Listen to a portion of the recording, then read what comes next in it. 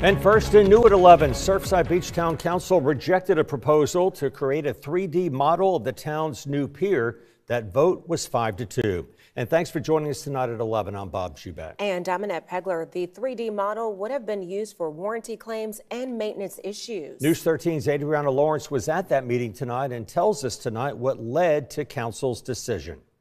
Council met for more than three hours and it was a standing room up until 9.30. Council heard from Collins Engineering that there is not a big update for the pier. Dane Peterson with Collins Engineering told Council the contractor is in disagreement with what is substantially complete, like the handrails and floor leveling. He said the contractor believes the items are in code, but when Collins Engineering looked at the pier, it did not meet its standard of substantial completion. He added they would not pay the contractor until the items met its substantial completion standard.